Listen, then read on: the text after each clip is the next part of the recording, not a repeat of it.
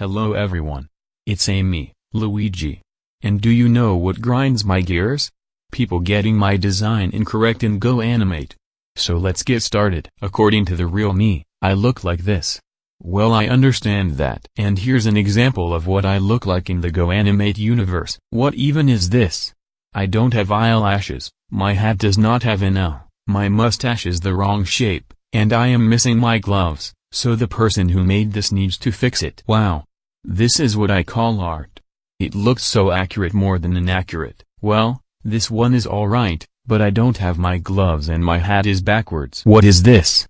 I don't have my overalls and gloves. My mustache is the wrong shape, making me look like Waluigi.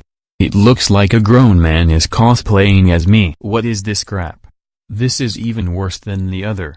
It looks like Eric is cosplaying as me. Not much to say on this one. My shoes are brown, not white. I have no gloves, and I have no L on the hat. And these two are horrible as well.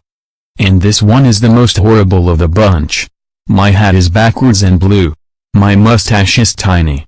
My color scheme is incorrect. And I have no L on the hat. I hate it so much. And remember, do not be lazy on my design just like Mario. See you guys later.